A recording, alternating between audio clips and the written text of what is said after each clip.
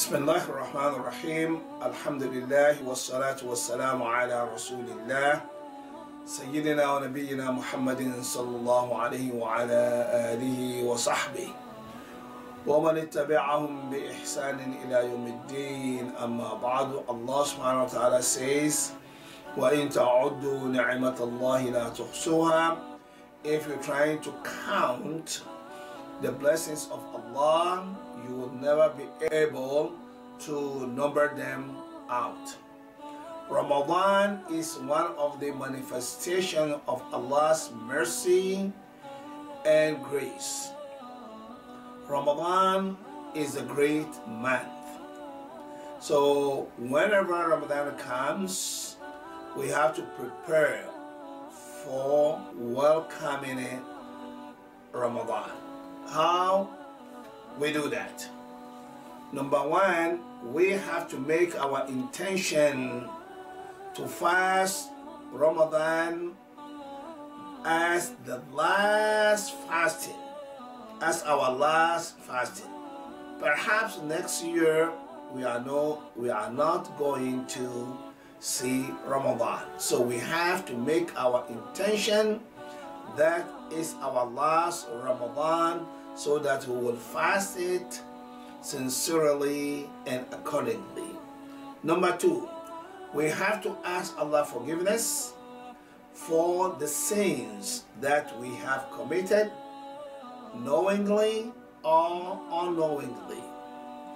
Number three, we have to forgive the people who did wrong to us, and we have to ask the people also that we wronged to forgive us. Number four is that we have to plan how to make good use of Ramadan, how we can have maximum benefit of the fasting of Ramadan. Now let me shed a little light on the virtues of the month itself. The month of Ramadan is the month of Quran. In that in this month the Quran was revealed. Allah subhanahu wa ta'ala said, شهر رمضان الذي أنزل فيه القرآن and we have some athar that Torah also was revealed in the month of Ramadan and Injil was revealed in the month of Ramadan. In this month there is a night called Laylatul Qadr. It's better khairu min alf shahr. It's better than thousands months. So Laylatul Qadr is very very important. I will advise each one of us, every Muslim, to try his best to stand, to spend them all night in the odd numbers in the last 10 days of Ramadan. Among the virtues of this wonderful month is that the gates of hellfire are closed and the gates of Jannah are open. This indicates that the person who observes Ramadan accordingly should be his abode would be should be in the Jannah. That means the hellfire is not the abode of the person who observes fasting of Ramadan accordingly. Now, fasting itself. The fasting, as-siyam, Allah subhanahu wa ta'ala said, all the deeds that the son of Adam does is for him, except fasting is for me. I will reward for it. So Allah subhanahu wa ta'ala ascribed the fasting to himself no any other deeds that Allah subhanahu wa ta'ala ascribed to himself. This is very, very important for us to understand. Is for me. The mass, the fasting of Ramadan is prescribed to help us to achieve taqwa. Taqwa conscious of God. And this is the the quality that Allah loves the most. Because this taqwa gets you closer to Almighty Allah subhanahu wa ta'ala. This taqwa will make you to become wali min awliya illah. Allah said, "Ala inna awliya Allah la khafun alayhim wa lahum yahzanun alladhina amanu wa kanu yattaqun." Indeed, or pay attention. The awliya of Allah, the lovers of Allah, are those الذين آمنوا وكانوا يتقون and have a taqwa. And so Ramadan fasting in this month help us to achieve this highest form of iman, quality of taqwa. This word taqwa, my brothers and sisters in Islam, you find it mentioned in the Quran, almost on every page on the Quran. Either the word is mentioned explicitly or implicitly. So this is very, very important. My brothers and sisters in Islam, fasting in Ramadan, my brothers in Islam, makes you and helps helps you to get closer to Almighty Allah subhanahu wa ta'ala. We learn fasting in this month many lessons. We learn a lot of lessons. Among them is patience patience. That's what Ramadan is called the Shahr Sabr. The month of patience. We learn a lot of patience. Because we suppress our desires for the sake of Allah subhanahu wa ta'ala. Ramadan teach us patience to control our behavior. When someone provokes you to behave foolishly, say to him what? Allahumma inni sa'im.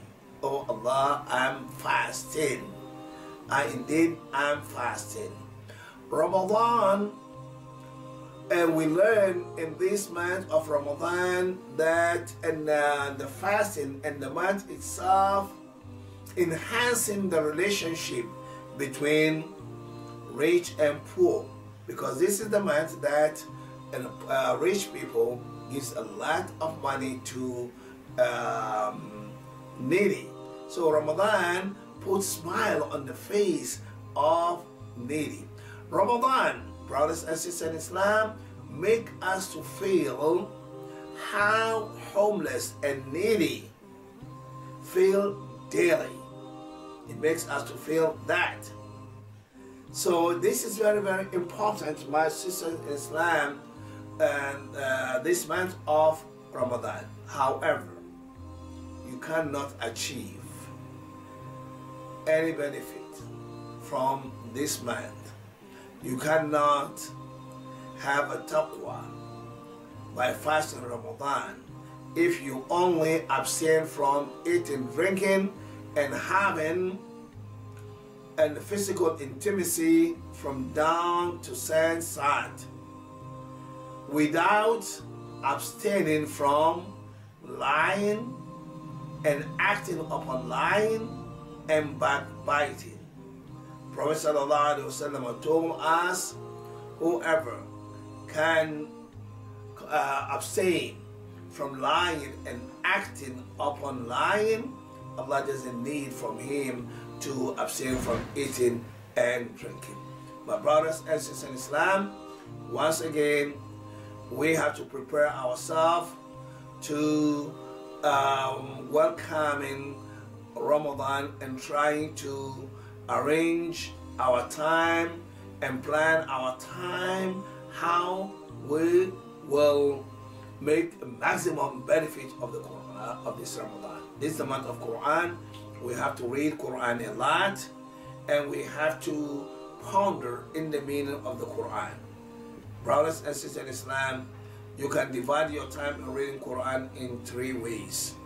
One, you read it without paying attention to the meaning, and one of them, you're trying to ponder in the meanings, and part part of the your program in Quran to try to memorize some of them. Finally, don't forget, don't forget to feed some people who are fasting. Because Prophet Wasallam taught us throughout the year to pray that Allah subhanahu wa ta'ala will make it possible for us to feed those who are fasting. He told us that when somebody invites you for the food for food, after finishing food, you said what? أكل طعامكم الأبرار وأفطر عندكم الصائمون وصلت عليكم الملائكة. This is the dua. Means may Allah send righteous people to eat your food. May Allah send them and those who observe and fasting to break their fast with you.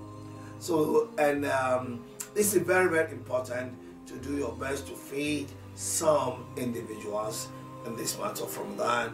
Assalamu alaikum wa rahmatullahi ta'ala wa barakatuh. This is your brother in Islam, Ali Suleiman Ali, Imam of MCWS and the Director of Muslim Family Services, Detroit. ICNA Relief. Assalamu alaikum wa rahmatullahi wa barakatuh.